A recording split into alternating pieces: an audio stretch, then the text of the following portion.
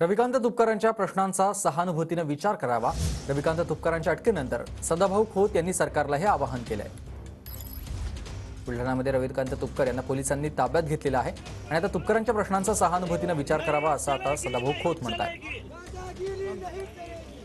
त्यांनी जे काही शेतकऱ्यांचे विषय हातामध्ये घेतलेले आहे मग सोयाबीनचा प्रश्न असेल विम्याचा प्रश्न असेल कापूस उत्पादक शेतकऱ्याचा प्रश्न असेल या संदर्भामध्ये सरकारनं त्यांच्याबरोबर चर्चा कराव्यात आणि त्यातून मार्ग काढावा आणि शेतकऱ्यांना न्याय द्यावा हीच एकमेव भावना त्यांची आहे.